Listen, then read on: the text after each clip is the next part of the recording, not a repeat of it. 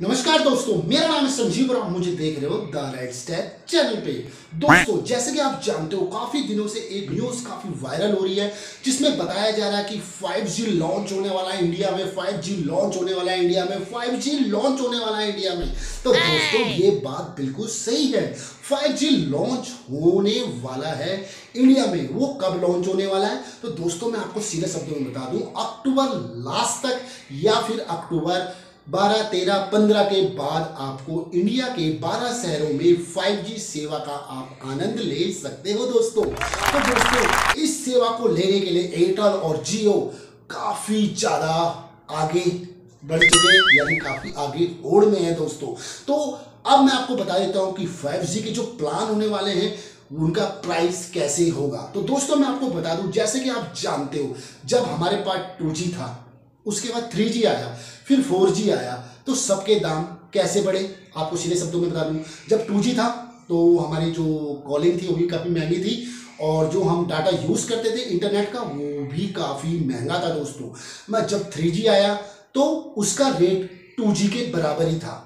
क्योंकि जब भी कोई चीज़ लॉन्च होती है ना दोस्तों तो एकदम से उसका रेट नहीं बढ़ाया जाता। उसका रे, उसका रेट इसलिए नहीं बढ़ाया जाता क्योंकि पहले जो कंपनियाँ होती है वो देखती है कस्टमर का बेस कितना है यानी कस्टमर का इंटरेस्ट कितना है उस सेवा को यूज़ करने के लिए। क्योंकि लोगों के पास थ्री फ़ोन नहीं थे फिर लोगों के पास फोर जी फ़ोन नहीं थे, अब फाइव जी फ़ोन नहीं है। तो सीधे शब्दों में कह सकते हैं दोस्तों, फिर फोर जी आ गया। अब फोर जी आने के बाद एक दिक्कत हुई। अब लोगों के पास फोर जी फ़ोन नहीं है। अब थ्री जी फ़ोन में तो फोर जी चलेगा नहीं। तो क्या हुआ? कंपनी ने एकदम से रेट नहीं बताया। बहुत सी कंपनी ने आपको फ्री भी दिया, जैसे जियो ने। फोर आपको दो साल के लिए बिल्कुल फ्री दिया। आप फ़ोन लीजिए फोर जी फ़ोन और दो साल तक सेवा सबने क्योंकि उस टाइम जियो नया नया आया था इंडिया के अंदर तो फोर जी का आना सबने फ्री लूटा। मैंने भी बहुत लूटा। मैं भी यूट्यूबर बन गया। है तो मतलब बहुत सारे बन गए यूट्यूबर फोर जी आने से फ्री नेट हो गया थ्री जी टाइम तो बहुत महँगा था। तो दोस्तों, मैं आपको बता दूँ, अब फाइव जी आ रहा है तो मैं आपको बता दूँ इसका रेट कैसे होगा। जब फाइव जी आएगा मार्केट में, अक्टूबर वगैरह में, अक्टूबर में आएगा, या अक्टूबर लास्ट तक, या नवंबर के फ़र्स्ट वीक में जैसे कि आता है।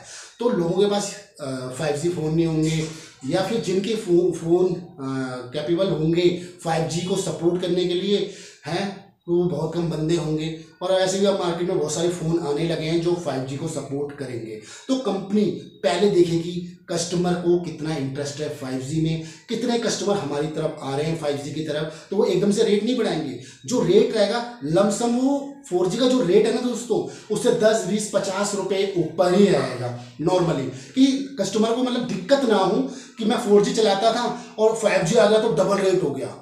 ऐसा भी नहीं होगा। मतलब दस, बीस, पचास रुपये का फ़र्क पड़ेगा कि इंसान कहेगा, चलो यार फाइव जी यूज़ करके भी देख लूँ, क्या पता ही फास्ट हो।